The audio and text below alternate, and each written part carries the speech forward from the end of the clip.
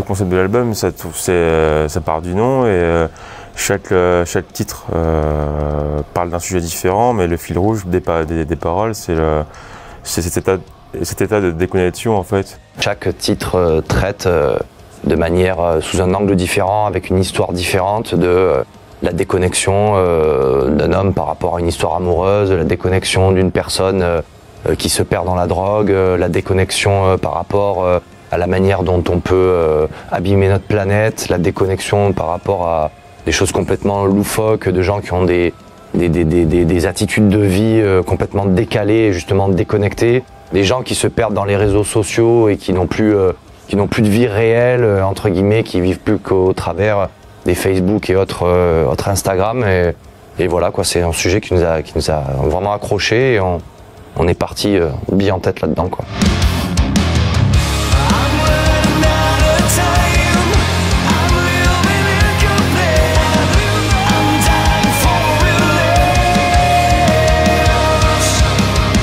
Les gens vont découvrir l'album, ils vont écouter cette musique-là, ils auront vu le clip, ils vont se faire une idée euh, de ce qu'est euh, l'univers de Disconnected et, il faut que quand ils viennent nous voir en concert, ils puissent re-rentrer euh, dans cette maison-là en fait et se dire ah oui, je suis bien chez Disconnected et, euh, et ce que j'ai euh, ressenti, pressenti à l'écoute de leur musique, je le vois retranscrit maintenant sur une attitude scénique, sur une scénographie, sur un jeu de lumière, sur un son travaillé d'une certaine manière. Au-delà de la musique, euh, aller jusqu'au bout du truc, c'est vraiment pousser juste, ouais, visuellement, avoir son univers. euh, et euh, puis voilà, puis on a réfléchi à ça vraiment à cause de l'artwork qui a été créé, la pochette que, Flo du Chromatorium a faite. Suite à ça, on a vraiment poussé le truc en se disant bah ouais, on va aller jusqu'au bout dans cet univers un peu post-apocalyptique, jusqu'aux tenues de scène, jusqu'à, jusqu'à la création du clip aussi. Ouais.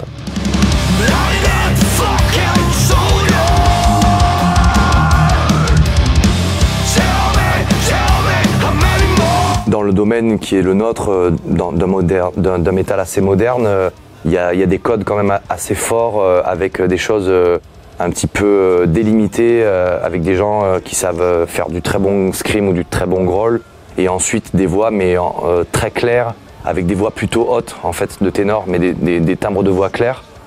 Alors que moi, euh, je suis plutôt dans une voix un petit peu plus basse. Je pratique aussi le growl et, le scream.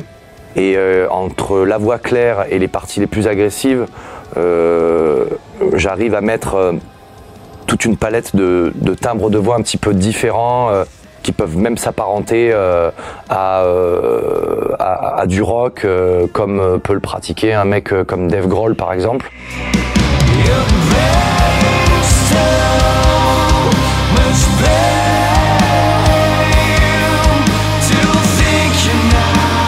Pas mal de trucs. Je sais que moi j'ai plein, pas mal d'influences différentes. Euh, ça peut aller de Alter Wage à Architects en passant aussi par Muse. Donc euh, c'est un mélange de pas mal de choses et ça vient aussi du fait que quand je compose des trucs, euh, je me pose pas vraiment la question du style. Donc il n'y a pas vraiment de limite, même si ça reste même du métal.